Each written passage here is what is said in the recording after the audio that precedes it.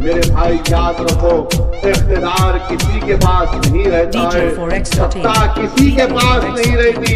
ये मुल्क की तारीख गवाह है। इंदिरा गांधी को भी मट्टी चाटना पड़ा। राजीव गांधी को भी इलेक्शन हारना पड़ा।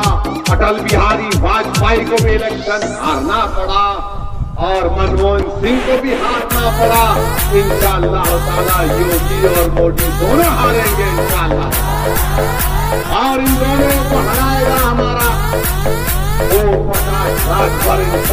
ताला आप देखेंगे। मैं मुबारकबाद देता हूँ प्रकाश राजभर साहब को इन्होंने मिनिस्ट्री सिर्फ़ से रिजाइन किया। मिनिस्टर से रिजाइन कर दिया और फिरते रहते उत्तर प्रदेश में कभी ट्रेन में तो कभी बस में तो कभी गाड़ी में।